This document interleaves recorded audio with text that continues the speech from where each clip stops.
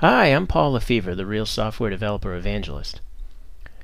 I get a lot of questions from people asking how to use databases with RealStudio, particularly those coming from uh, tools like FileMaker or Access. Well, it turns out using databases with RealStudio is actually pretty easy, but I think an example is going to help a lot of you. So for this video, I'm going to show you how to create, add table, add data, and display the data using SQLite. So let's get started. Start up Real Studio and create a new project. Change the Window 1 name to SQLite Window and set up its layout like this. You want to have four buttons on the left. These are going to be the four steps that I'm going to show you how to do today. I'm going to create SQLite database. I'll expand the property list here so you can see what I've named these things. You can see I've called this create DB button. We're going to create a table. We call that create table button. Add some sample data. And then we're going to show the data here in this list box at the bottom. Next to the top three buttons, you want to put a label. This is going to show the status of the task or an error message should something have occurred. For the list box, you want to set it to have four columns and a heading. Column count 4 has heading. And the four values for the heading are ID, name, coach, and city, each separated by a tab. These are the four columns of the table that we'll be creating.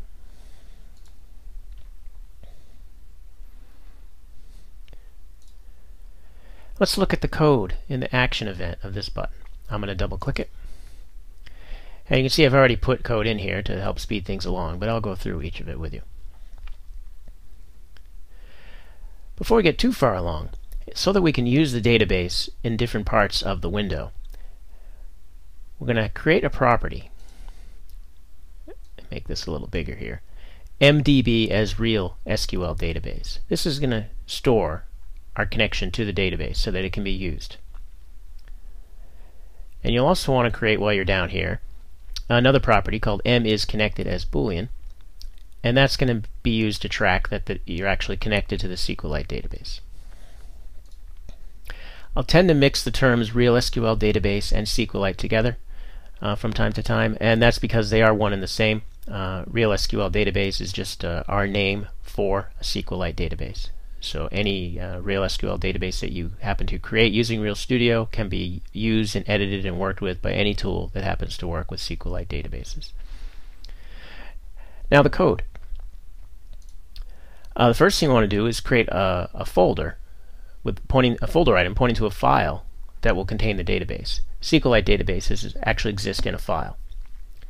And for this particular example, we're just going to put the file right next to the, uh, the executable that's running. So we get uh, a folder item here, just calling it example.sqlite. And if it already exists, we're going to delete it. Then we create the new database, tell it which file to use by setting its database file property to the folder item, call the create database file method to actually create the database, set the m is connected property to true because now we are connected, and update the label to say that the database was created. If there is any sort of problem, connected is false, and we display the, the error in the label. So I'm going to run this. And if I click the button, you'll see that it created the database successfully. And to verify that, we can open up where the project is, go to the build folder, and you'll see that right next to the executable is a file here called example.sqlite. So move on to step two. Create the team table. For this example, we're just going to create a simple table with four columns. I call it team because that's a fun little thing to do. Uh, the four columns are ID, which is essentially the primary key, the name of the team, the coach for the team, and the city the team is in. Like I said, pretty simple. This is the SQL command for SQLite that uh, creates a table. And you'll see the syntax is create table. you put the name of the table, in this, came in this case team, and then in parentheses you put the name of the columns, followed by their data types. The first column is called ID, that's the primary key, so we're going to make it an integer not null type. And then name is a text, coach is a text, city is a text. And then lastly, we actually specifically tell it that the primary key is the ID column. SQL commands are often uh, terminated with a semicolon, which you can see here at the end.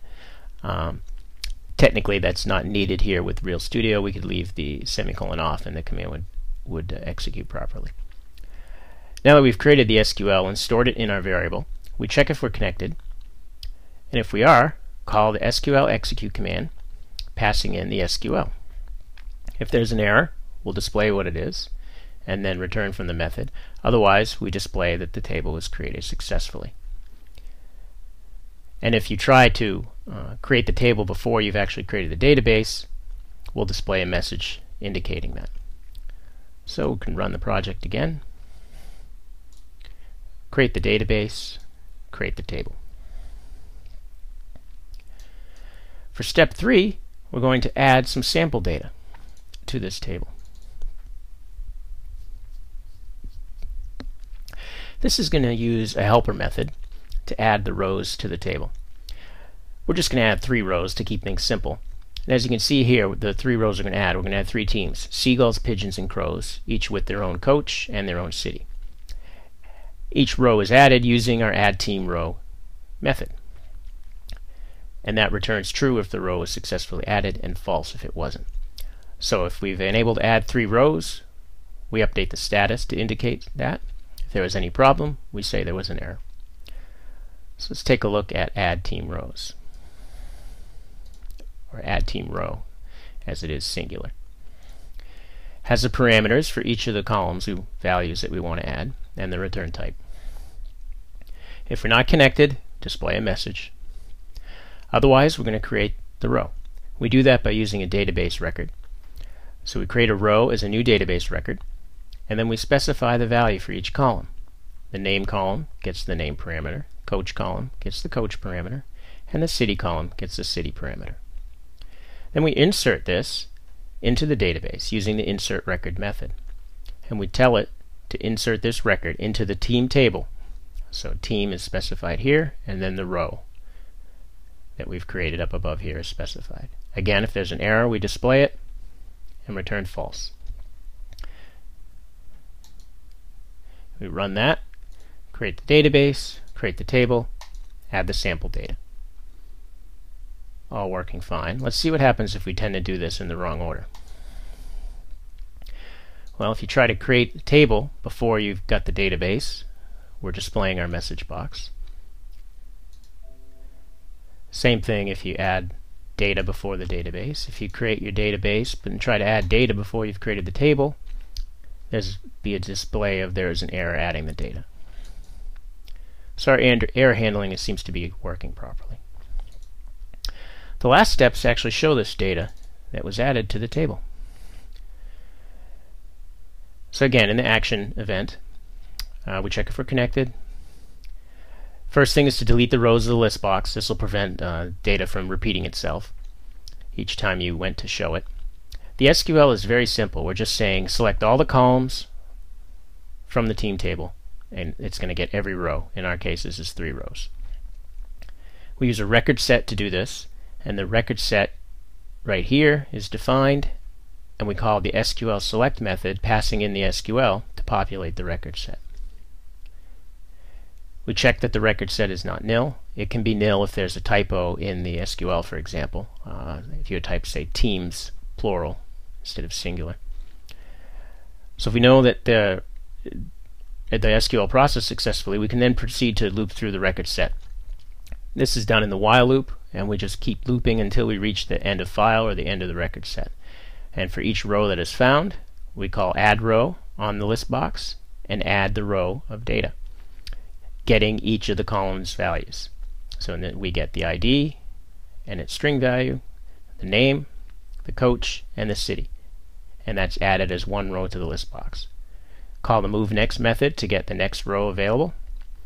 and that proceeds. And when once the last row is retrieved, end of file becomes true, we exit the while loop. Can then close the record set.